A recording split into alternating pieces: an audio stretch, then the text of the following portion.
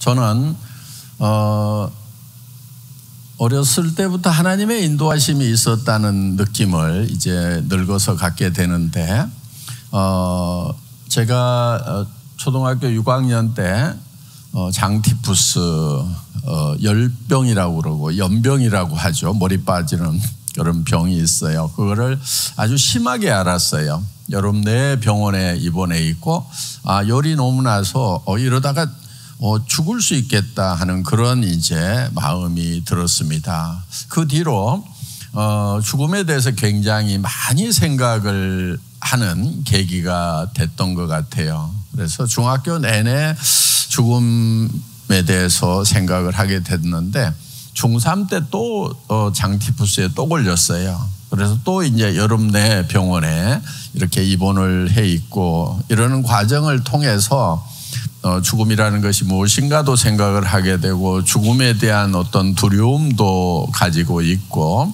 어, 그래서 지금도 생생하게 기억하는 게 어, 제가 그 다니던 중학교에 어, 그 신설학교였는데 그 어, 운동장 가운데 에, 묘지가 있었어요. 어, 그러니까 그 묘지를 팔지를 않으니까 아직 운동장을 만들지를 못하는 거예요. 그러니까 우리가 학생들은 그 이제 동산에 올라가서 이렇게 어, 자주 놀기도 하고 그랬는데 제가 기억이 나는 게 그 거기에 무덤이 몇 개 있었는데 그 무덤 사이에 누워가지고 이렇게 하늘을 보면서 어, 삶이란 무엇인가, 어, 왜 사는가, 또, 어, 이 삶의 끝은 무엇인가, 이런 것들을 이제 계속 생각을 하, 했었는데, 그때 제가 무덤 사이에 누워가지고 양쪽에다가 이렇게 손을 올리고, 여기 누워 계시는 분들이 이 세상에 와서 얼마 동안 살다가 언제부터 여기 누워 있는지는 모르지만은,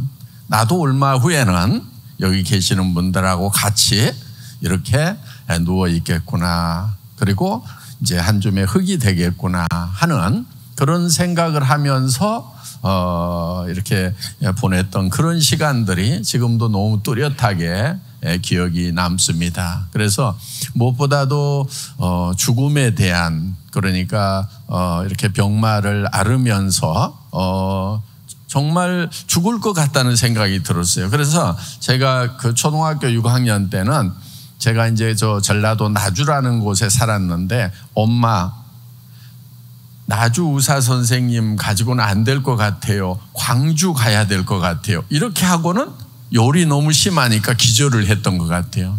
그러니까 제가 판단해도 나주에 있는 시골 의사 선생님은 지금 제 상태를 못 고치겠다는 그런 생각이 들었던 거예요. 그래서 아 이거는 큰일 났다. 광주 큰 병원을 가야 되겠다. 그래서 엄마한테 그렇게 얘기를 했더니 택시가 와가지고 이렇게 이제 급히 가다가 어, 영산강 다리 좀 지날 때 잠깐 이렇게 정신이 돌아와서 깬 것 같아요.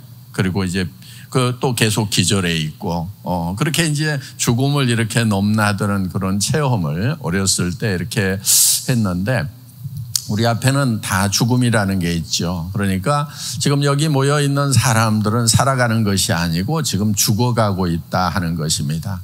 어, 창조주 하나님께서는 어, 우리에게 두 가지 생명을 태초부터 계획을 어, 하셨던 거지요. 그래서 어, 첫 번째 생명을 우리는 현재 가지고 있습니다. 그런데 그 첫 번째 생명은 대부분 100년 가지 못해서 끝나는 생명이라는 거죠.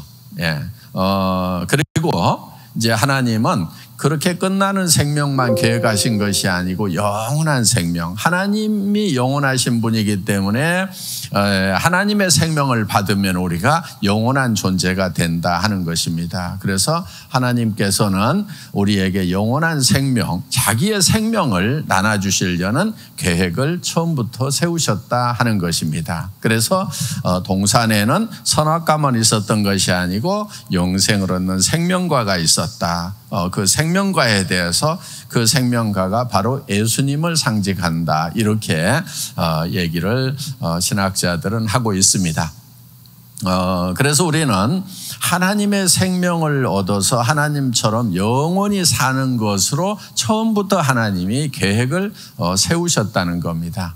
어, 지금 여기에 이제 어, 지금 질문 받은 내용들 중에 선악과 문제가 좀 많이 이렇게 나왔었고, 어, 이제, 어, 우리, 어, 먼저 목사님들 답을 해 주셨는데, 그 선악과가 있었던 것에 대해서, 어, 왜 그럼, 어, 전지전능하신 하나님이니까 선악과 먹을 걸 다 하셨을 건데 왜 만들었을까? 저도 굉장히 많은 어, 의문을 가지고 있었던 그런 것도 안 만들었으면은 아예 선악과 땀 먹을 일도 없고 그러면은 어, 예수님이 오셔서 죽을 일도 없고 이렇게 될 건데 왜 그런 것들을 하셨을까 하는 것에 대해서 저도 오랫동안 이제 어, 고민을 해왔던 그런 어, 부분들이고 많은 사람들이 그런 질문들을 하고 또 기독교를 공격하는 사람들마저도 어, 전진 전능하신 하나님이 어, 그땀 먹을 줄 알았으면서 왜 그런 걸 만들었느냐 하는 것에 대해서 이렇게 이제 질문들을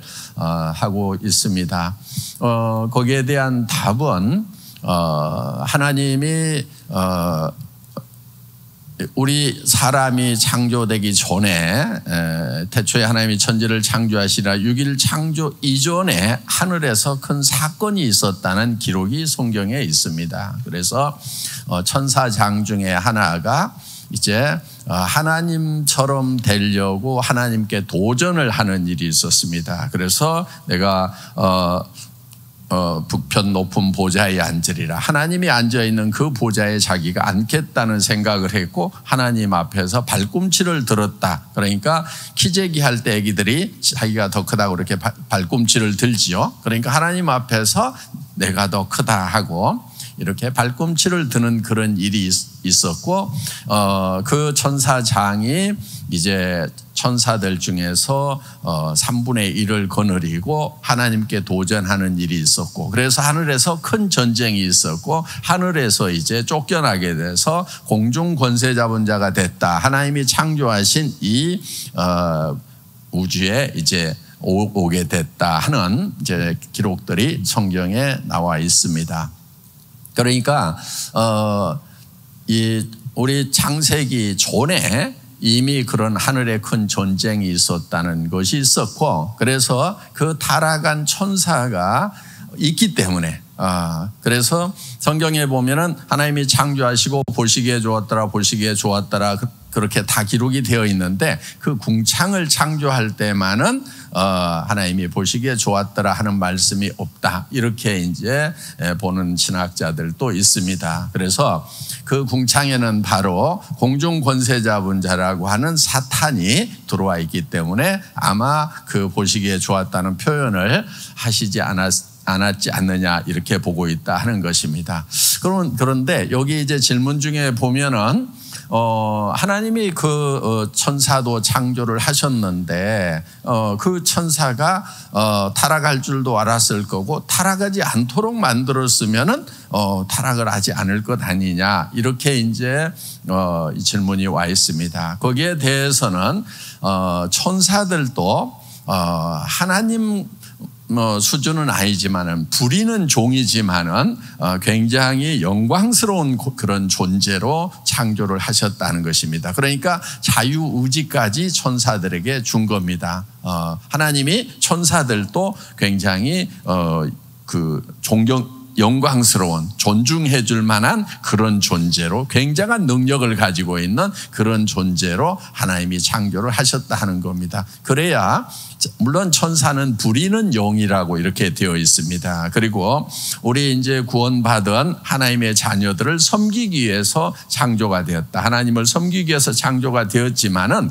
어 하나님을 섬기려고 하면은 그래도 굉장한 능력을 가지고 있어야 되기 때문에 천사에게도 엄청난 능력이 주어졌다 하는 것입니다. 그리고 이제 하늘에서 큰 전쟁이 있었고 하늘나라는 에서는 이제 쫓겨나서 하늘나라는 정리가 다 됐다 하는 것입니다. 그래서 우리 주기도문에 보면은 뜻이 하늘에서 이루어진 것 같이 땅에서도 이루어지다 하는 말씀이 있습니다. 그러면 뜻이 하늘에서는 어떻게 이루어지느냐? 뜻이 하늘나라에서는 하나님의 뜻 하나로 통일이 다 된다 하는 것입니다. 왜? 어, 그 하나님의 뜻을 거스리는 어, 이 타락한 천사가 자기가 하나님보다 높아지리라는 뜻을 세우긴 했지만은 그거는 이제 하늘나라에서는 어, 전쟁에 의해서 쫓겨났습니다. 그러니까 이제 하늘나라는 하나님의 뜻 하나로 통일이 돼, 돼 있는 겁니다. 그래서 뜻이 하늘에서 이루어지는 것 같이 땅에서도 이루어지다 하는 기도를 하는 것입니다. 그러면은 이 땅에서도 하늘에서와 같은 어 하나님의 뜻이 통하려고 하면은 하나님의 뜻 하나로 통일이 돼야 되는데 그럼 현재는 어떤 상태인가 하면은 지금 이 땅에는 세, 세 개의 뜻, 의지가 있다 하는 거예요. 힘이 있다 하는 겁니다. 어, 첫째는 어, 하나님이 예, 성령으로 와 계시기 때문에 하나님의 뜻, 하나님의 의지, 어, 의롭고 선하신 하나님의 뜻이 있다 하는 것입니다. 거기에 또 반하는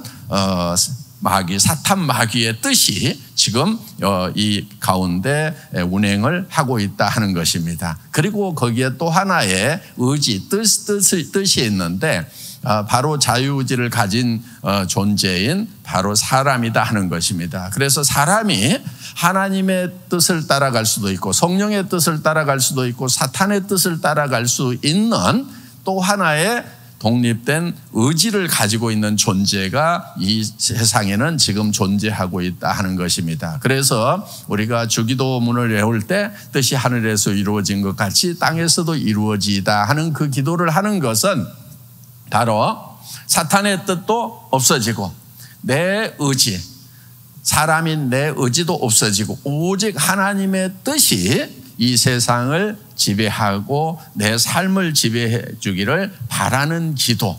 어, 이 기도가 바로 주기도문 안에 들어있다 하는 것입니다. 그래서 이제 어, 그 선악과를 안 만드셨으면은 어, 됐을 건데 왜 만들었냐 하는 문제는 어, 바로 이런 거와 같습니다. 이미 어, 이 에덴 동산이 창설되기 전에 어, 이 공, 공중 권세 잡은 자가 이 어, 타락한 사탄 천사가 여기에 들어왔기 때문에 어, 거기에 대한 경계가 반드시 필요하다 하는 거예요.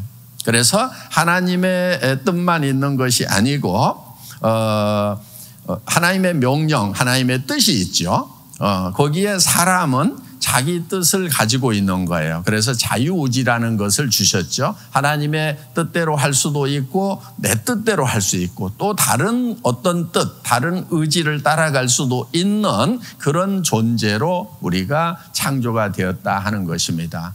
어, 거기에 대해서는 이제 그러면 그렇게 어, 자유의지를 주지 않고 그냥 어, 하나님 말씀만 듣도록 창조를 하셨으면 되지 않느냐 이런 이제 반론들이 많이 나오는데 그것은 바로 로봇을 만드는 거하고 어 우리 자녀를 낳는 것하고의 차이만큼이나 엄청난 차이가 있다 하는 것입니다. 로봇, 로봇은 바로 내 뜻대로 움직이도록 만드는 것입니다. 자유의지를 주지는 않는다 하는 거예요. 그런데 우리 자녀들은, 어, 내 뜻대로 움직이지 않 있고 자유의지를 가지고 있지만은 그것은 사랑의 대상이기 때문에 예, 소중하다 하는 것입니다. 우리가 어, 나를 사랑할 수밖에 없는 그런 존재와 사랑한다고 하면은 진정한 사랑을 느낄 수가 없다 하는 것입니다. 그래서 어, 예를 들면 제가 로봇을 하나 쫙 만들었어요. 어, 미스트 코리아 같은 아주 늘씬하고 예쁜 어, 로봇을 만들어 가지고 거기다가 이제 살도 말랑말랑하게 만들고 해서 이렇게 어, 소프트웨어를 탁 집어넣습니다. 항상 나만 사랑하도록 이렇게 만들어 놨어요. 그랬더니 이 로봇가 저를 졸졸졸 따라다니면서 한길 씨 정말 사랑합니다. 사랑합니다. 맨날 이렇게 얘기를 할 때 제가 느끼는 것은 아, 얘가 나를 사랑하는구나. 이렇게 느끼겠는가? 아니면은 아이고 이게 내가 입력을 시켜 놓으니까 계속 어, 사랑한다고 쫑알대는데 아 이제는 듣기 싫다 이런 느낌이 들겠는가 하는 거예요. 그렇기 때문에 바로 로봇을 만들게 되면은 어, 내가 진정으로 사랑을 느낄 수 없다는 것입니다. 하나님도 어, 하나님을 이제 표현을 할 때 가디스 이렇게 단문으로 표현되어 있는 게 있습니다. God is light, God is spirit 이렇게 그래서 어, 하나님은 사랑 자체이십니다. 그것도 온전한 사랑이시다 하는 거예요. 그런 온전한 사랑을 가진 하나님이 로봇처럼 어, 사랑을 주고받는 그런 부족한 사랑에 절대 만족할 수가 없다 하는 겁니다. 그렇기 때문에 하나님은 온전히 사랑할 수 있는 하나님과 격이 같은 그런 존재로 창조를 하신 겁니다. 그래서 하나님과 격이 같으려고 하면은 하나님을 닮아야 된다 하는 거예요. 그래서 하나님께서는 하나님의 형상대로 하나님의 이미지대로 우리를 창조를 하신 겁니다. 그러니까 어, 우리가 하나님을 사랑하든지 사랑하지 않든지 어, 죄악 중에 타락을 해서 하나님을 기억을 못 하더라도 하나님은 우리를 자녀로 생각하고 하나님은 우리를 사랑하고 계신다는 것입니다. 그래서 하나님은 자기 형상대로 만들어서 사랑을 하시는 거고 하나님을 사랑할 수도 있고 사랑하지 않을 수 있도록 자유의지를 줘서 정말 선택적인 완벽한 사랑을 받으시고 싶은 것이 어, 하나님의 사랑이다 하는 겁니다. 그래서 어, 하나님은 우리에게 어, 이 하나님을 어, 온전히 사랑할 수 있는 하나님과 같은 어, 자녀로 만들지 않는다고 자녀가 아니라고 하면은 굳이 만들 새로 만들 필요가 없어요. 왜 이미 어, 천사들이 있기 때문에 그런 수준은 얼마든지 천사들 가지고도 어, 어, 됐, 된다 하는 겁니다. 그런데 천사들만 가지고 하나님의 사랑이 만족이 안 되기 때문에 하나님께서는 자기 형상과 닮은 어, 하나님과 같은 레벨에 있는 반열에 있는 어, 이 사람을 창조하시게 된 거다 하는 겁니다. 사람은 그래서 매우 소중한 거예요. 여러분 한 사람 한 사람의 삶이 어, 여러분이 생각하는 것보다도 하나님은 더 소중한 존재로 그렇게 생각을 하고 계신다 하는 것입니다. 여러분이 여러분을 사랑하는 것보다도 하나님이 여러분을 더 사랑하고 계신다 하는 겁니다. 하나님은 그렇게 사랑을 하, 기 때문에 어, 이 이미 들어와 있는 그 사탄에 대해서 어, 그거를 선택 사람이 선택할 수도 있기 때문에 선택하지 않도록 경계를 해 주는 것이 그것이 바로 이제 선악과죠. 이 선악과를 먹는 날에는 죽으리라 하는 것이 바로 하나님의 사랑의 표현이다 하는 것입니다. 그래서 어, 마치 뭐 하고 갔냐면은 이런 거예요. 자 어디에 맨홀 뚜껑이 이렇게 어, 어, 도망갔어요. 그래서 사람이 거기 빠지면 죽는 커다란 웅덩이가 길 가운데 있어요. 그러면은 어 그거는 이미 어, 어, 사람이 거기 살기 전부터 그런 웅덩이가 있었어요. 그러니까 사람이 창조되기 전에 사탄이라고 하는 그런 죽음의 웅덩이가 있었다 하는 겁니다. 그러면은 거기에 대해서 이렇게 거기에 들어가면 안 된다. 이 선을 넘어가지 말으라고 이렇게 어, 줄을 하나 이렇게 쳐놨어요. 거기에다가 따먹지 마라, 들어가지 마라 이렇게 어, 표시를 해놨어요. 그러면은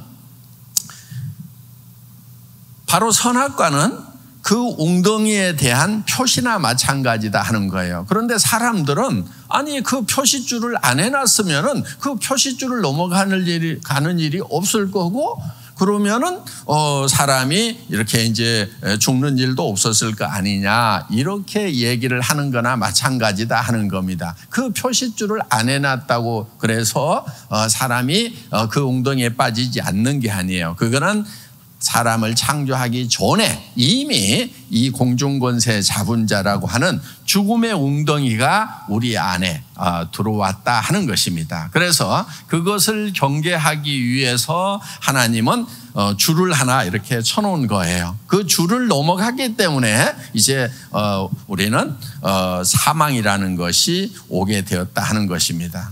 그러면은 사람들은 어, 그 줄을 왜 쳐놨냐고 자꾸 어, 그 줄이 없었으면은 어, 그 줄을 넘어가는 일도 없고 그래서 죽는 일도 없었을 거라고 이렇게 얘기하는 거와 마찬가지다 하는 겁니다. 그래서 그 사탄 마귀 어, 사망 권세 잡은 자, 죽음의 권세를 잡은 그 사탄 마귀가 있다는 것을 하나님은 아시기 때문에 거기에 대한 경계를 반드시 쳐놔야 되고 그의 말을 듣지 말으라고 어, 경계를 해놓은 것이다 하는 것입니다. 이렇게 이제 이해를 하면은 어, 그것마저도 하나님의 사랑이라는 것.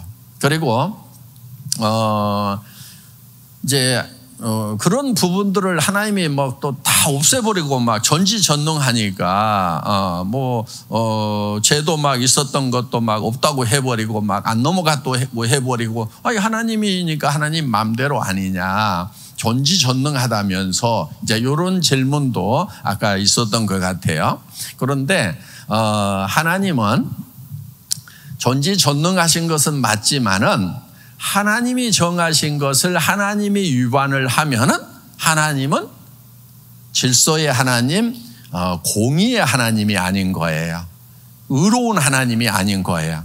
어, 그러면 우리는 하나님을 믿을 수가 없어요. 사랑한다고 얘기를 했는데, 하나님이 우리를 사랑한다고 했는데, 어느 날, 어, 나 그런 말 한, 한 적 없거든? 어, 지금부터 사랑 안 하는 걸로 정했어. 내 마음이야. 이런, 이런, 이렇다고 하면은 하나님은 믿을 수 있는 존재가 아니다 하는 겁니다. 창조주 하나님이 정말 그런 하나님이라고 하면은 우리 피조물들은 너무너무 불행한 거다 하는 거예요. 어, 그래서 성경에 보면은 신실하신 하나님, 믿부신 하나님, 정말 믿을 만한 하나님이다 하는 내용들이 많 이 성경에 반복적으로 나오는 것입니다. 하나님이 믿을만 하다고 하는 것은 우리를 위한 거예요. 하나님이 전지전능하니까 하나님이 했던 말도 막 없애버리고 막 어, 전에 있었던 법도 마음대로 없애버리고 그러면은 누가 불행하냐면은 바로 우리 피조물들이 불행하게 되어 있다 하는 것입니다. 여러분들은 그런 하나님을 어, 믿을 수도 없고 절대 바라지도 않을 거고 바래서도 안 된다 하는 것입니다. 그래서 하나님은 어, 한번 뱉은 말은 절대 시건치 아니하신다. 하나님이 말을 뱉어놓고 다시 주워 먹어버리고 없었던 걸로 하자. 절대로 이렇게 하지 아니하신다. 그래서 비가 내리면은 그냥 하늘로 올라가는 것이 아니고 땅을 적시, 적셔서 과일과 어, 곡식을 내게 하고 그 역할을 하고 어, 이렇게 다시 하늘로 올라가듯이 반드시 하나님의 말씀은 역사를 한다. 그대로 실행이 된다 하는 거예요. 그래서 우리가 하나님을 믿을 수 있는 하나님이 된다 하는 것입니다. 아무리 내가 믿더라도 대상 자체가 믿을 수 없으면 그 믿음은 성립될 수가 없다는 거예요. 그렇기 때문에 우리의 믿음의 근거는 하나님의 신실하심, 진실하심인 거예요. 그래서 하나님은 어, 자기가 하나님이 정한 법은 하나님도 어기지 아니하시는 그런 신실함을 가지고 계신다 하는 겁니다. 그래서 어, 어, 그, 이 천사에게도 자유 의지를 주었으면은 그 자유를 의지를 없었던 걸로 하자 이렇게 하지 아니하신다 하는 거예요. 그리고 사람에게도 어, 자유 의지를 줬는데 어너 어, 범죄했네 지금부터 자유 의지 없는 걸로 하자 이렇게 아니하신다 하는 것입니다. 그래서 하나님은 어, 하나님이 정하신 법도 하나님이 어기시지 않는다. 이거를 공의의 하나님이라고 한다 하는 거예요. 바로 이제 어, 우리가 이제 구원을 받는 원리 중에 이 공의의 하나님이 매우 중요합니다. 그래서 공의의 하나님인데 그 하나님은 사랑도 가지고 계신다 하는 거예요. 그래서 하나님이 두 가지 속성이 동시에 양립하는 분이기 때문에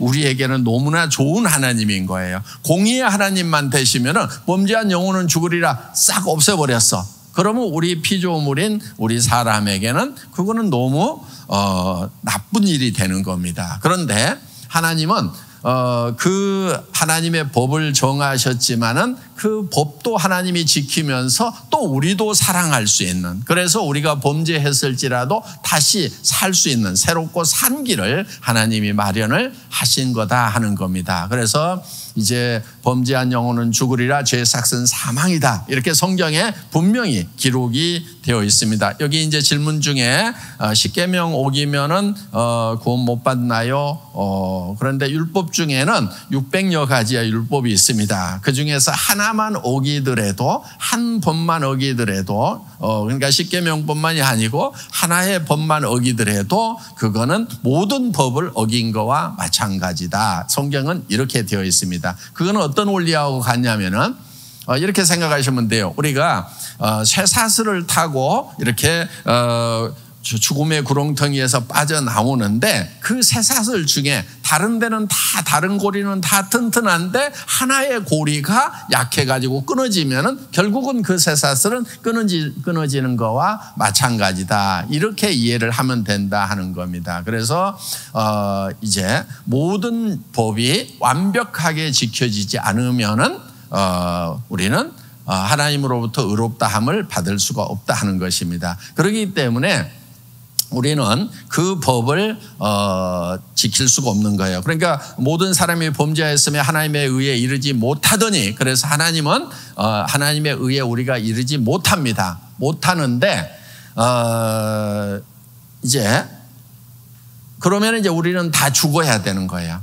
모든 사람이 다 죽음으로써 어, 그 죄에 대한 값을 치러야 되는 것입니다. 그런데 하나님은 한편 우리를 또 사랑하신다고 어, 성경에 기록이 되어 있고 실제로 우리를 사랑하실 수밖에 없어요. 왜? 하나님의 형상대로 하나님의 자녀로 우리를 만드셨기 때문에 그렇다는 것입니다. 그래서 하나님께서는 우리를 사랑하셔서 이제 죽음으로부터 우리를 구해야 되는 겁니다. 그렇게 하려고 그러면 그 죄가 없어야 되는 거예요. 그런데 왜 죄가 정말 하나도 없어야 되느냐? 하나님은 조금 죄를 좀 용납해 주시면 안 되느냐? 조금 정도는 어, 이렇게 이제 어, 생각을 하는 경우들이 있다 하는 것입니다. 어, 그런데 그거는 이제 죄의 속성을 잘 모르기 때문에 그런 생각을 할 수가 있어요. 성경에 보면은 죄는 누룩과 같다, 곰팡이와 같다. 어, 이 곰팡이가 적은 누룩이 온 떡덩이에 퍼지는 줄을 알지 못하느냐 이런 말씀이 있어요. 그러니까 죄라고 하는 것은 곰팡이 팡이실만 한 만한 거 그거 하나만 있더라도 온 떡덩이에 쫙 퍼지듯이 만약에 곰팡이 팡이실 만한 죄가 천국에 들어가면은 천국에 죄가 포지게 된다 하는 겁니다. 그거는 죄의 속성이기 때문에 그러는 거예요. 그래서 어, 죄는 죄에 대해서는 완벽하게 죄가 처리되지 않으면은 안 되는 겁니다. 그래서 어, 너희가 홀이라도 남김없이 정말 그 죄값을 동전 한 입, 어, 털끝만큼이라도 남김없이 다 갚기 전에는 결단코 거기에서 사망에서 지옥에서 나오지 못, 못하리라고 성경에 엄중하게 기록을 하고 있다 하는 것입니다. 그래서 우리 사람으로서는 사람의 의로서는 그 죄를 이제 갚을 수가 없는 겁니다. 갚는다고 하면 유일한 방법이 있어요. 그냥 죽어서 없어지는 겁니다. 그런데 하나님은 우리가 우리를 사랑하시기 때문에 죽도록 내어버려 둘 수가 없어서 사람의 몸을 입고 오신 예수님이 십자가에 대신 못 박혀 죽으시면서 내가 바로 너희 죄 때문에 죽었노라고 이렇게 간절하게 성경을 통해서 말씀을 하고 계시는 거예요. 그런데 그것을 못 믿겠다고, 못 받아들이겠다고, 하나님이 나를 사랑하시는지 모르겠다고, 나하고 거의 상관없다고 얘기를 하고 있으면은 하나님도 어떻게 하실 수가 없다는 거예요. 왜? 우리에게는 그 하나님의 사랑을 받아들일 수도 있고 거절할 수도 있는 그런 자유의지라는 걸 주셨기 때문에 그렇다 하는 것입니다. 그런데 그 사랑을 받아들이지 않고 십자가의 그 어, 도를 받아들이지 않으면은 안 할 수도 있어요. 그럼 어떻게 되느냐 하는 거예요. 저는 그거를 받아들이지 않는 사람들이 오늘 암에 걸렸다고 얘기를 듣더라도 어 괜찮아요. 아무렇지도 않아요. 이럴 수 있는 사람 같으면은 그래도 괜찮을 수도 있어요. 또 예를 들면은 돌을 많이 닦아 가지고 대개 도 닦는다는 게 뭐냐면 죽는 것이 아무것도 아닌 거다. 죽는 것은 그냥 자연 속에서 왔다가 자연 속으로 가는 거고 바람과 같은 거여서 다 아무것도 없어지는 거다. 이렇게 계속 세뇌를 하면은 어느 정도 죽음의 공포를 극복하는 경우도 있습니다. 예. 그렇다 하더라도 그것은 속는 거지 결코 진짜는 아니다 하는 거예요. 그렇게 자기를 속여 가지고 편안히 죽었더라도 영원한 지옥이 기다리고 있다 하는 것입니다. 많은 사람들은 이렇게 얘기를 합니다. 어, 하나님이 정말 어, 미워하셔가지고 분노 때문에 어? 정말 막 어, 이, 어, 그 불타는 지옥을 만들어 사람을 거기다 집어넣는 거냐. 하나님 너무 악하신 거 아니냐, 독하신 거 아니냐. 이렇게 제가 전도를 했을 때 그렇게 어, 저한테 반론을 제기하는 그런 친구들도 많이 있었어요. 저는 지옥에 대해서 나름대로 생각을 해봤습니다. 설령 하나님이 거기다 불을 놔두지 않았다 하더라도 굉장히 뜨거운 불 속일 수가 있다. 왜? 여러분 속에 있는 죄악들, 미움, 시기심, 분노, 이런 것들을 가지고 이제 그런 사람들만 모아서 지옥에다가 다 모아놨어요. 그런 사람들끼리 모여 살면은 어떻게 했어요? 날마다 화내는 사람, 날마다 미워하는 사람, 그런 죄악들이 점점 점점 커져가지고 어? 다른 사람한테 미움을 받다 보니까 나는 더 분노하게 되고 내가 분노하니까 저 사람은 나를 더 어? 미워하게 되고 그래서 정말 이 죄악이 어? 불, 불길보다도 더 뜨거운 그 속에 들어가서 내가 살아야 되는 것이 아닌가 하는 거예요. 그렇기 때문에 지옥은 설령 하나님이 그렇게 뜨겁게 해놓지 않았다 하더라도 정말 우리 제 속에도 어, 화가 날때 어, 여러분들 어때요? 불 같은 것이 나오죠. 그런 것들을 우리가 속에 지금 꼭꼭 숨겨 가지고 있다가 이거를 처리 안 했어. 그래서 하나님께서는 그래 그런 사람들은 따로 이렇게 저쪽에 가서 있어라 하고 거기 모아놓은 곳 그곳에 가서 우리가 영원히 산다고 하면은 정말 그곳은 지옥이 아니라도 지옥이 될 수밖에 없겠구나 하는 그런 생각을 저는 해본 적이 있다 하는 것입니다. 자, 어, 그래서 어, 정말 저는 어, 간절한 마음이 있어요. 간절한 마음이 정말 이 애터미를 통해서 또 우리 드림이 학교를 통해서 만난 영혼들 중에서 단 한 영혼도 하나님으로부터 버림받고 그 어, 버림받은 사람들만 모여 있는 미움과 분노와 질시가 있는 그곳에 들어가지 않았으면 좋겠다 하는 겁니다. 사람들은 이제 어, 죽으면은 어, 없어지는 거 아니냐 이렇게 어, 얘기를 하고 그렇게 가르치는 경우도 있습니다. 그렇지만은 우리는 그런 것을 우리 정신 세계, 영의 활동 이런 부분들을 이제 우리 드림이 학교 학생들은 시간을 초월할 수 있는 그런 것은 어, 시간의 제약을 받지 않기 때문에 영원한 존재가 된다. 우리의 생각, 영의 활동, 혼의 활동은 이거는 이제 과거로도 가고 미래로도 가고 시간을 초월할 수가 있기 때문에 이거는 영원한 존재일 수밖에 없다는 것에 대해서 우리가 이제 배우는 시간들을 가졌습니다. 그래서 우리의 몸은 갑자기 과거로 갈 수 없어요. 어, 지금 우리 학생들이 갑자기 갓난아기가 될 수 없어요. 갑자기 노인네가 될 수가 없어요. 예, 그래서 미래로 갈 수도 없어요. 그렇지만 우리의 생각은 내가 나이 먹었을 때 어머, 엄마, 아빠, 할아버지의 모습들을 보면서 아, 나도 언젠가는 저렇게 되겠구나. 또 어린 날을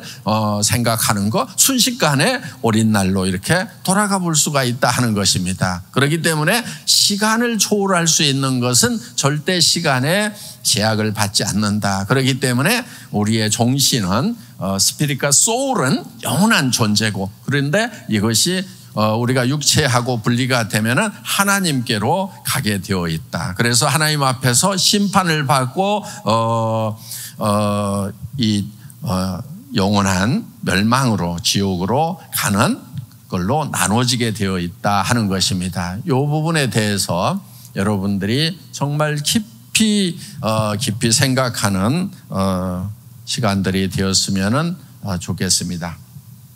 하나님을 믿는다는 것이 도대체 정확히 어떤 의미인지 궁금합니다 하는 부분에 대해서 하나님을 믿는다고 하는 것은 짧게 짧게 어, 생각나는 대로 말씀을 듣겠습니다. 하나님을 믿는다고 하는 것은 하나님이 이제 어, 형체가 없으시다 보니까 어, 뭐를 어떻게 믿어야 될지 막연할 수가 있습니다. 그런데 어, 우리가 가장 쉬운 것은 하나님이 말씀이시라는 말씀이 있습니다. 하나님은 말씀이시기 때문에 하나님의 말씀을 믿는 것이 바로 하나님을 믿는 거다. 대표적인 그런 예가 어, 될 수가 있습니다.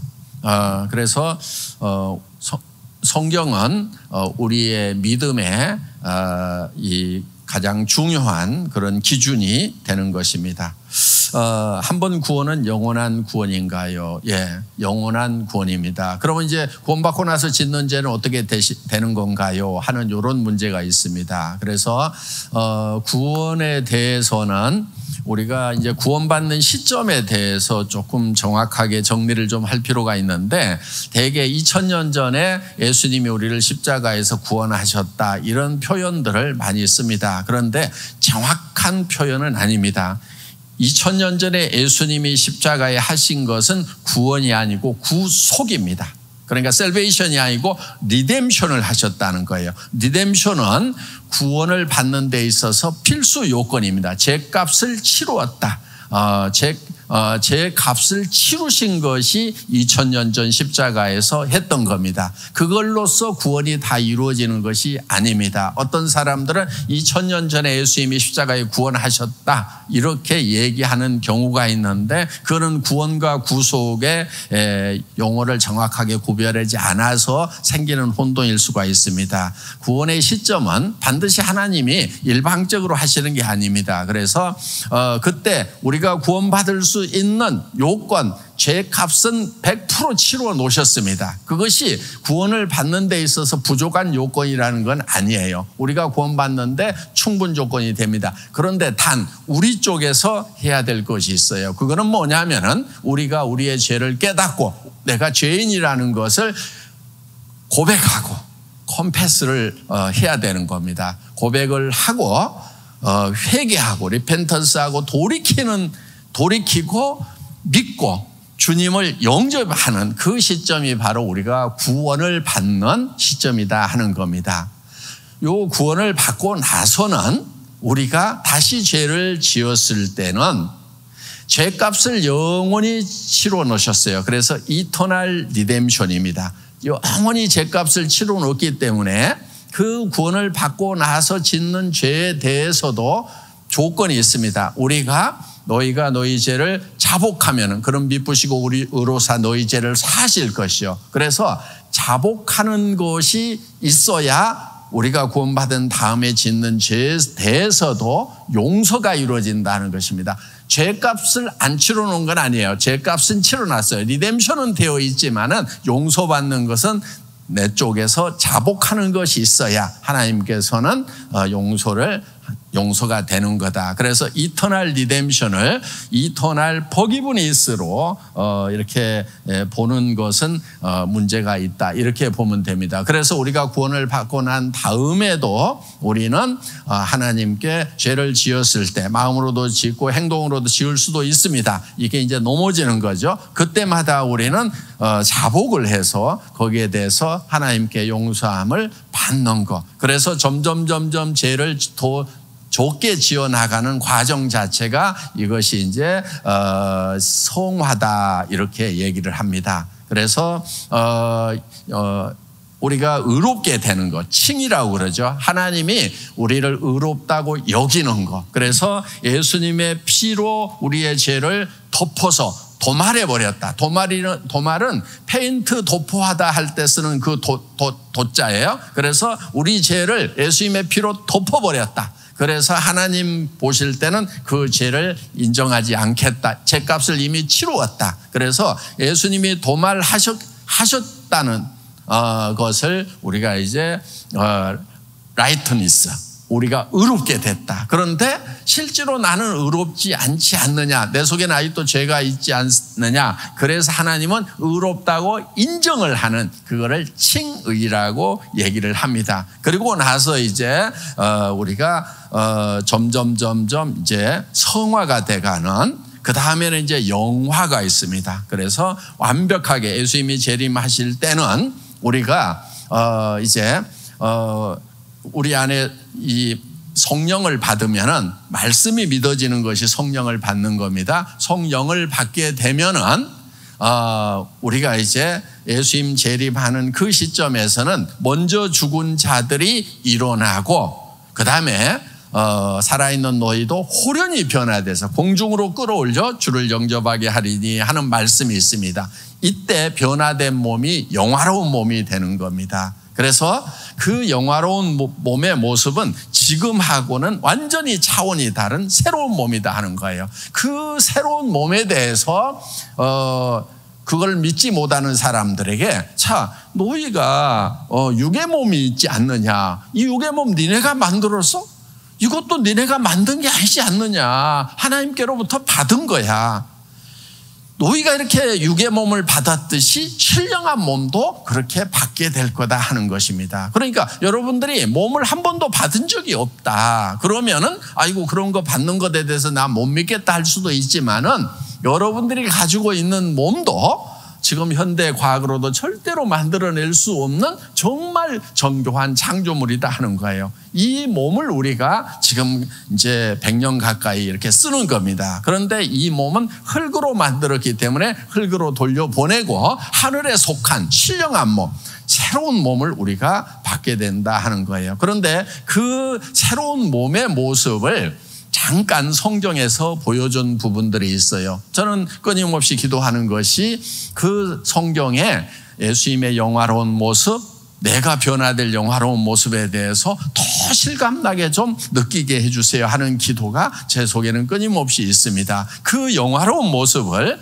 이제 예수님을 요한 사도가 어, 만났어요. 예수님이 나타났어요. 그런데 그 얼굴이 어, 요한계시록에 보면은 해가 힘있게 비치는 것 같더라. 여러분 여름날 해를 보면은 막 눈이 부셔서 볼 수가 없죠. 예수님의 얼굴이 그렇게 빛난 얼굴이었다 하는 것입니다. 그런데 성경에 어떤 기록이 있냐면은 예수님이 재림하시는 그날에는 그날에는 우리가 그와 같을 줄을 안다. 그분과 같이 된다 하는 거예요. 예수님과 같이 우리가 영화로운 몸으로 바뀐다는 기록이 있다는 거예요. 그러면은 요한계시록의 요한 사도가 봤던 그 예수님의 모습을 우리가 잘 살펴보면은 아 내가 앞으로 어떻게 변하겠구나 하는 것도 우리가 짐작을 해볼 수가 있다 하는 거예요. 그래서 어, 흰 옷을 입고 있는데 그 옷은 빛입니다. 빛 자체예요. 네. 그래 그리고 그흰옷 어, 어, 사이로 이렇게 이제 발등이 보이는데 불에 달군 빛난 주석 같더라 하는 말씀이 있어요. 저는 이렇게 좀 주물이라는 것을 다뤄봤어요. 쇠를 끓이고 하는 거. 쇠를 끓이면은 밝은 빛이 납니다. 굉장히 아름다워요. 그런데 주석, 어, 이, 어, 이 주석이라는 것을 끓이게 되면은 하얀 빛이 나옵니다. 너무나 아름다운 거예요. 그래서, 아, 내 몸이 그, 어, 불에 달궈서 빛난 어, 끓어, 끓었을 때 그 주석이 끓어서 물이 돼가지고 빛이 확 나올 때 그 아름다운 모습으로 내 몸이 바뀌는구나 하는 것을 이렇게 생각을 해보면은 너무너무 어, 영광스러운 그날이 그려지는 거예요. 그날, 그때 그 옷을, 그 몸을 톡 주실 때 내가 와, 그동안 이렇게 내가 영광스럽게 될 줄 알았으면은 내가 조금 더 정말 어, 하나님만 생각하고 어, 이, 이, 어, 이 어, 성화의 과정을 더 성스럽게 거룩하게 살아갈 것 하는 그런 후회가 막 몰려올 것 같은 생각이 드는 거예요. 그리고 우리가 가야 되는 그 천국에 대해서도 새 예루살렘 성이 내려온다고 이렇게 성경에 기록이 되어 있습니다. 그런데 그 그거를 요한 사도가 다 봤어요. 그 어, 치수까지도 굉장히 정확하게 기록이 되어 있어요. 어, 보면은 가로 세로 높이가 같은데 1만 2천 스타디온이요 이렇게 돼 있어요.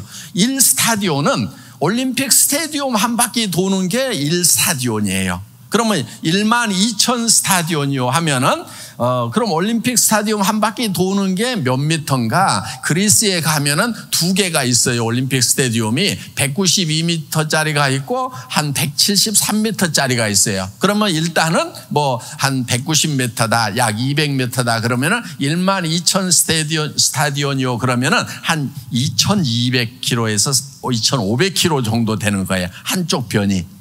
그러면은 이제 미국의 거의 한 어, 절반 정도 되는 그런 가로 세로가 되는 겁니다. 거기에 1만 2천 어, 그러니까 어, 2,200km면은 비행기가 약 10km 높이로 날아갑니다. 그러니까 어, 얼만큼 높은지에 대해서 어, 우리가 상상을 해볼 수가 있어요.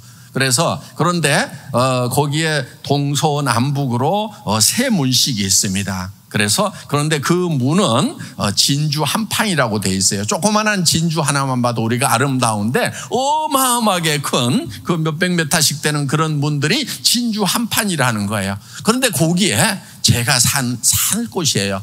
제가 그쪽 주민이고 그게 저희 집이라는 거예요. 그래서 예수님이 이제 가시면서 내가 처소를 예비하러 가노니 그게 영어로 번역하면 처소가 맨션 이렇게 돼 있어요. 그런데 그 맨션이 뭐 미국의 좋은 집이라든가 뭐 이런 집 정도가 아니고 그런 대문이 진주로 되어 있고 그 다음에 그 길이 어, 이 황금길인 거예요. 그래서 유리같이 맑은 청금이더라 하는 거예요. 어, 그래서 진짜 24K로 깔아놨는지 더 영광스러운데 사실은 어, 요한 사도가 보고 어디다 비교할 수 없어서 막 보석이나 금에다가 비유를 해놨는지는 모르겠어요. 저는 세상에서 볼 수 있는 그런 보석보다도 훨씬 더 영광스러운 것을 아마 요한 사도님께서 봤을 거라는 생각을 하는 거예요. 왜냐하면은 바울 사도도 거기를 갔었거든요. 그래서 세 번째 하늘에 내가 가, 가봤다.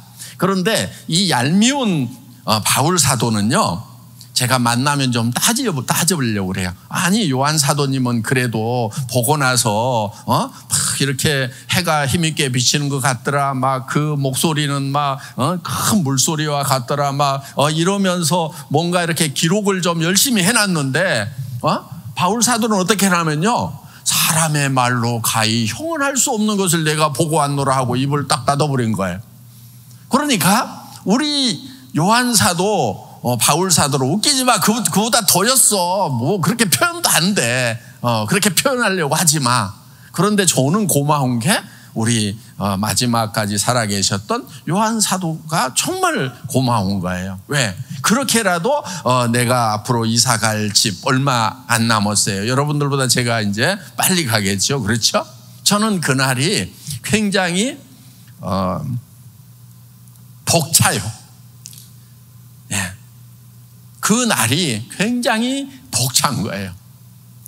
어, 그래서 어, 내가 달려가는 이 길 끝에서 어, 내 주님을 보리라 하는 그런데 그 달려가는 그 순간이 제가 아마 그 주님을 볼때 어, 부끄러울 것인가 아니면은 그 주님 앞에서 정말 기쁠 것인가 하는 것을 생각해 봤을 때 어, 제가 예를 들어서 이 세상에서 어, 돈도 있고 그러니까 막 이 세상 걸 즐기다가 이렇게 가, 가서 그 길 끝에서 그 즐거움의 끝에서 예수님을 만나면은 제가 기쁠까요? 부끄러울까요? 굉장히 부끄러울 것 같아요. 그런데 주님께서 저는 뭐 물질적으로 많은 것을 받았잖아요.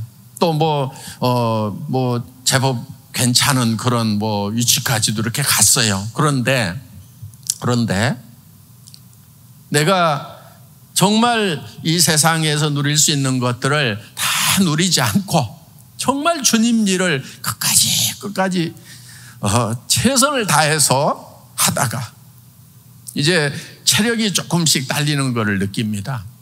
캄보디아의 의과대학을 만들고 이런 일들을 하려고 하면 10년은 정말 죽고 살고 해야 되는데 그런 일들을 어떻게 감당할 것인가. 사실은 어, 정말 어, 죽을 각오가 아니면은 하다가 죽자. 그냥 지쳐서 쓰러지자.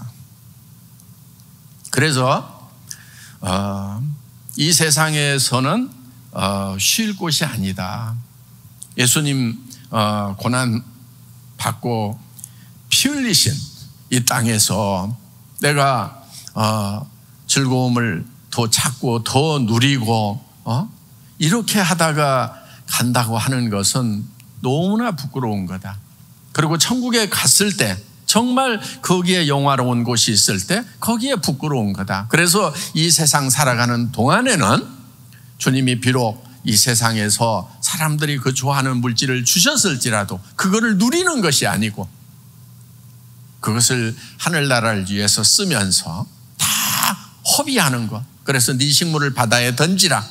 먼 훗날 찾으리라고 하는 그래서 이 세상에서 주어진 이 물질들이 이 세상에 살아가는 동안에 나의 즐거움을 위해서 쓰는 것이 아니고 하늘나라를 위해서 쓰여졌을 때 그때 먼 훗날 하늘나라에서 그것을 찾게 되리라는 그런 소망을 가지고 그래서 어, 제 인생의 길이 끝나는 그곳에서 주님을 만났을 때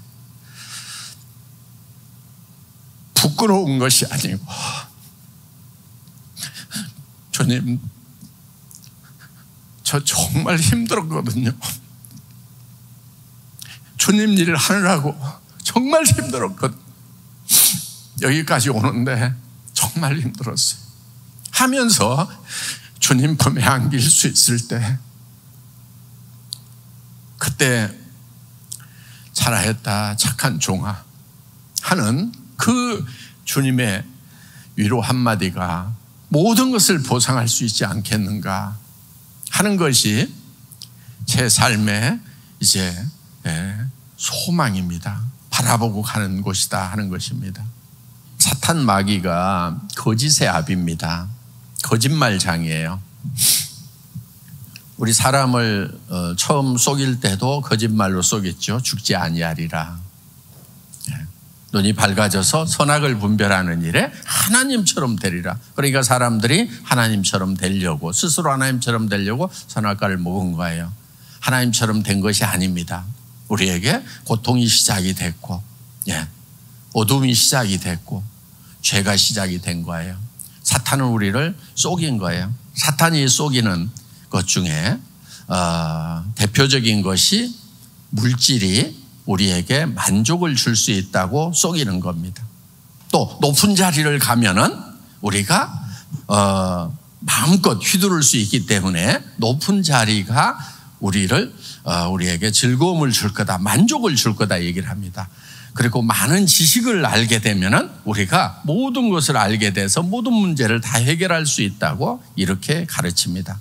그런데 성경은 그렇지 그렇게 가르치지 않아요. 어, 지식을 더하는 자는 근심을 더하리라 이렇게 되어 있습니다. 그리고 어, 권력을 갖게 되면은 많은 번민이 있습니다. 어, 최소한 애터미 안에서 제가 어, 직원들보다는 제가 훨씬 더 많은 고민을 안고 있는 사람일 것입니다. 네. 또 우리나라에서 아마 제일 고민 많은 사람 중에 한 사람이 대통령님일 것입니다. 높은 자리 올라갈수록 훨씬 더 고민이 많은 거지 마음대로 하기 때문에 고민이 없어진다 이게 아니다 하는 겁니다. 그것도 다 속이는 거예요. 지식도. 그 다음에 어떤 어, 그런 놀이, 자리 이런 것도 어, 내 나를 만족시킬 수 있다고 얘기를 하는데 그렇지 않습니다. 높은 자리에 있는 사람들이 이제 이렇게 만나보면 굉장히 고민이 많습니다. 갈등도 많고 마음대로 하지를 못합니다. 그래서 어, 어떻게 보면 높은 사람들은 어, 남들 보통 사람들 뭐 쉽게 화낼 때 말 함부로 할 때 그런 것도 할 수 없도록 더 많은 제약을 어, 받고 있는 것이 어, 높은 사람들이다 하는 거예요. 예, 그리고 물질이라고 하는 것이 만족을 줄 수 있다고 하는 거 거짓말입니다. 예. 많은 사람들이 물질을 얻은 사람들이 있어요. 그거를 쫓아갑니다. 그런데 그것이 만족을 주는 것이 결코 아니다 하는 거예요. 그래서 어, 이 어, 어, 그 그거는 완전한 거짓말이에요. 그래서 어 제가 물질에서 만족을 얻을 수 있을 것 같으면은 어 물, 물질로 만족하고 있겠죠.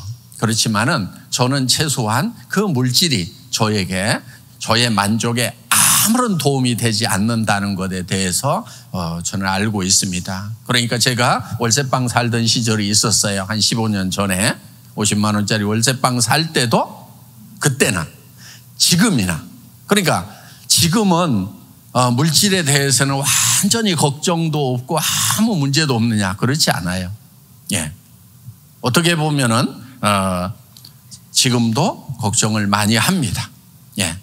또 뭐 재벌 회장들도 만납니다. 그분들도 물질에 대해서 어떻게 보면 서민들보다 더 많은 어, 고민을 하고 걱정을 하고 있다 하는 겁니다. 그래서 성경에 보면은 어, 부자가 어, 잠을 편히 자지 못한다는 기록이 있다 하는 것입니다. 그래서 물질이 나를 채워줄 수 있다고 하는 것은 어, 이 사탄의 대표적인 거짓말 중에 하나입니다. 사탄은 바로 재물신입니다. 만몬입니다. 만몬. 그래서 우리를 그리고 거짓말장이기 때문에 속이는 거다 하는 거예요. 그래서 우리가 물질에 대해서는 정확하게 정리를 할 필요가 있습니다. 왜 어, 에덴 동산에 있을 때는 우리가 물질에 대해서 전혀 어, 결핍이 없었어요. 어, 우리가 손발로 일해 가지고 먹고 살아야 되는 것이 아니었고 이미 하나님이 우리에게 풍족하게 주, 주어졌다 하는 겁니다. 하나님은 우리를 창조하실 때 내 손으로 일을 해서 어, 먹어, 뭐, 손으로 일을 해서 먹어, 먹, 먹어야 되는 그런 천덕꾸러기로 계획하신 것이 아니에요. 처음부터 그런 존재로 창조하신 것이 아니에요. 일하지 않고도 먹는 것에 대해서 일하지 않고도 얼마든지 풍족하게 먹을 수 있을 만큼 우리에게 모든 것을 조건을 어, 만족을 시켜 놓으셨다 하는 겁니다. 그런데 왜 이런 일이 벌어졌냐면 왜 이렇게 먹고 사는 일에 매달리는 일이 벌어졌냐면 바로 범죄함으로 말미암아서 에덴 동산에서 쫓겨나고 땅에 가시와 엉겅퀴가 나게 함으로 말미암아서 우리 이제는 우리가 이마에 땀을 흘려야 우리가 식물을 먹게 됐다 하는 거예요. 그래서 하나님이 하나님을 떠난 사람들에 대해서는 가시와 엉겅퀴가 나게 해서 힘들게 만든 거예요. 그걸 성경에 보면은 하나님이 인생들에게 노고를 주사 수고, 수고하게 하신 것을 내가 보았노라 하는 말씀이 있어요. 선지자에게 보여준 거예요. 선지자가 보니까 어, 사람들이 왜 고생하는가 했더니 하나님이 고생을 시킨 거예요. 그런데 사람이 미워서 그렇게 했느냐? 그게 아니다 하는 거예요. 그래서 성경에는 또 이런 말씀이 있어요. 그것이 하나님의 본심이 아니다. 하는 말씀이 있어요. 그럼 하나님의 본심은 뭘까요? 하나님의 본심은 이거예요.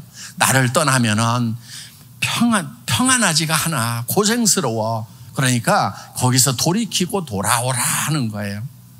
강제로 무조건 돌아오게 하는 것은 하나님의 창조 법칙에 맞지 않아요. 자유의지를 주셨기 때문에 이미 그거는 확정이 되어 있는 거예요. 그렇지만 하나님은 스스로 돌이키게 하고 싶은 거예요. 그래서 돌이킬 수 있는 환경을 만드신 거다 하는 겁니다. 여러분들이 지금까지 살아오면서 뭔가 고난이 있고 고통이 있고 앞으로도 근심 걱정이 많고 하다고 하면은 그것은 바로 아, 내가 하나님을 떠났기 때문에 그렇구나. 죄악된 세상에 살기 때문에 그렇구나. 에덴 동산으로 하나님 품으로 돌아가면은 내가 모든 짐을 내려놓고 그래서 수고하고 무거운 짐진, 짐진 자들아 다 내게로 오라 내가 너희를 쉬게 하리라.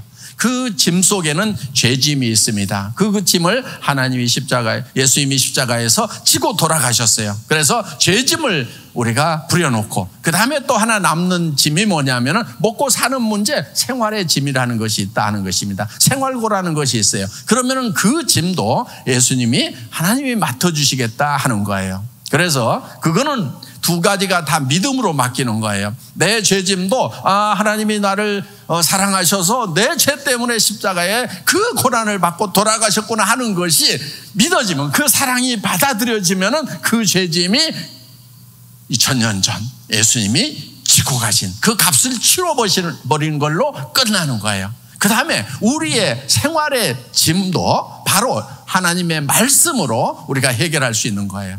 그래서 어, 산상수훈이라고 여러분들 마태복음 5장, 6장, 7장이 있어요. 그래서 이제 거기 팔복으로부터 시작이 되는데 어, 그, 어, 그, 그 부분을 가면 이제, 어, 이런 말씀이 있어요. 6장, 7장에 보면은 너희는 무엇을 먹을까, 무엇을 입을까 염려하지 말라, 구하지도 말라. 이는 이방인들이 구하는 것이라. 너 이방인은 어, 이제 구원받지 아니한 사람들을 얘기를 하는 겁니다. 그래서 구원받지 않은 사람들, 하나님의 자녀가 아닌 사람들은 이제 어, 그것을 어, 이마에 땀을 흘려서 먹고 살도록 한 것이 하나님이 정하신 거예요. 그런데 하나님께 돌아와서 하나님의 자녀가 돼서 이제 회복이 되면은 그래서 하나님은 뭐라고 얘기하냐면 노인은 하늘 하나님의 권속이라 하나님의 집안 사람이 됐다. 하나님의 자녀가 됐다. 이제 너희, 너희는 하나님의 나라의 백성이 됐다. 언제부터냐면 구원받는 그 순간에 하나님 나라의 백성이 되는 거예요. 그럼 하늘나라에서는 일해가지고 먹고 사는 것이 아니다 하는 겁니다. 그러니까 지금부터 일해서 먹고 사는 것이 아니에요. 최소한 먹고 사는 것에 대해서는 하나님이 약속으로 공급을 하시는 거예요. 그러니까 그거는 믿음으로 받아들이는 거예요. 자, 믿음이라고 하는 것은 눈으로 보이지 않는 거지만은 말씀이 그러하기 때문에 그렇게 믿었더니 그대로 되더라. 이것이 기적인 거예요. 그래서 여러분들 기적을 맛보려고 그러면요. 내 이성으로, 내 생각으로는 도무지 이해가 안 가지만은 말씀이 그러하다 그러니까 믿고 갔더니, 오, 생각지도 못했던 것들이 이루어지면은 그때 기적을 체험하는 것입니다. 저는 여러분들의 삶이 기적의 연속이기를 바랍니다. 저는 많은 기적을 체험하면서 살아가고 있습니다. 성경에 기적이 있는데 여러분 삶 속에 기적이 없다고 하면은 둘 중에 하나가 잘못됐겠죠. 그래서 믿음에는 반드시 기적이 따라오게 되어 있다 하는 거예요. 그래서 믿음은 보이지 않는 것들의 실상이다. 누가 보이는 것을 믿는다 하리요. 이렇게 되어 있습니다. 그래서 여러분들이 하나님께서 어, 여러분들의 먹을 것, 입을 것을 다 공급하신다고 어, 강변을 하고 계세요. 너희는 무엇을 먹을까, 무엇을 입을까 염려하지 말라, 구하지도 말라. 이는 이방인들이 구하는 것이라. 들의 백합벌을 보라, 공중에 나는 새를 보라, 길쌈도 아니하고 농사도 아니지 때 하늘 아버지께서 먹이시나니 하물며 너희일까 보냐 믿음이 적은 자들아. 계속해서 얘기를 하세요. 자, 너희가 악할지라도 자녀가 생선을 달라 하면은 뱀을 주지 아니하고 떡을 달라면 돌을 주지 아니하거든. 하늘 아버지께서 너에게서 좋은 것으로 주시지 아니하겠느냐? 거기에는 조건이 없어요. 하나님의 자녀라는 조건만 가지고 하나님께서는 먹이시겠다고 하는 겁니다. 자, 그것을 믿음으로 받아들여야 이제 내가 내 먹을 것을 위해서 일하지 않는 거예요. 물질을 위해서 일하지 않는 거예요. 물질을 섬기지 않는 거예요. 그래서 하나님과 재물을 겸하여 섬길 수 없다는 말에 합당한 믿음을 가진 사람들이 될 수가 있다 하는 것입니다. 먹고 사는 문제를 자기가 챙겨야 된다 그러면 결국은 그것은 재물을 위해서 일하는 거고 재물신을 섬기게 된다는 거예요. 내가 살아가는 데 있어서는 하나님은 기적을 통해서 약속을 통해서 공급하신다는 믿음이 있어야 된다 하는 것입니다. 그런 믿음으로 받는 거예요. 그러면 우리가 이제 일은 어떤 일을 하냐면 하나님의 일을 하는 겁니다. 하늘나라의 일을 하는 거고 하나님이 우리에게 주신 사명을 우리는 수행하는 것이 이제 종으로 살아가는 거고 제자도로 살아가는 것입니다. 그것은 이제 크게 세 가지가 있습니다. 하나님을 예배하고 섬기는 것, 하나님을 더 많이 알고 찬양하고 어, 하나님께 경배하는 것. 이것이 첫 번째입니다. 두 번째는 피차 뜨겁게 사랑하라. 내가 너희를 사랑한 같이. 그래서 수평적인 사랑을 나눠야 된다 하는 것입니다. 그리고 땅 끝까지 이르러 복음을 전하라고 하는 명령을 준행하는 것. 요 세 가지는 세 가지 하나님이 우리에게 명하신 요 세 가지는 거기에는 먹고 사는 문제는 하나님이 해결하신다. 그것을 위해서는 일할 필요가 없다고 분명히 성경에 기록을 하고 있다는 겁니다. 그래서 여러분들이 그것, 그 말씀을 믿고 정말 하나님의 일에 충성을 할 때 그때 어, 여러분의 먹고 사는 문제가 해결되는 기적도 함께 체험하시리라고 생각을 합니다. 시간이 많이 지났기 때문에 기도하고 마치겠습니다. 사랑 많으신 하나님 아버지, 우리는 이 세상에 태어나서 왜 사는지 또 죽으면 어떻게 되는지도 모르고 살아가던 어둠 속에 갇힌 눈 멀고 귀 먹은 불쌍한 영혼들이었습니다. 또 어디로 가야 될지도 모르는 안전뱅이들이었습니다. 주님께서 우리에게 말씀의 빛을 비춰주셔서 우리가 우리 안에 얼만큼 큰 죄악이 있는지 또 하나님께서는 얼만큼 우리에 대한 큰 계획을 가지고 영광스러운 자리를 우리에게 주시기 위한 계획을 가지고 있는지에 대해서 성경에서 설명을 해 주셨습니다. 우리는 여러 강사분들을 통해서 오늘 그것들에 대해서 듣고 배웠습니다. 아직 배움이 부족합니다. 하나님에 대해서 아직 다 할 수가 없습니다. 주님, 우리에게 하나님을 열망하는 하나님에 대해서 계속 알고 싶어 하는 그 마음을 허락하여 주옵소서. 이제 어, 이번 어, 수련회를 통해서 어, 새로 거듭난 영혼들이 있다고 하면은 이제 하나님의 자녀가 되었다는 평안을 하늘에 속한 평안을 누리게 하여 주옵소서. 그리고 이제 세상 물질을 위해서 일하는 것이 아니고 주님의 종으로서 하늘나라의 일을 하면서 나머지 삶을 살아가게 하옵소서. 우리는 연약하여 죄 앞에서 항상 넘어질 수가 있습니다.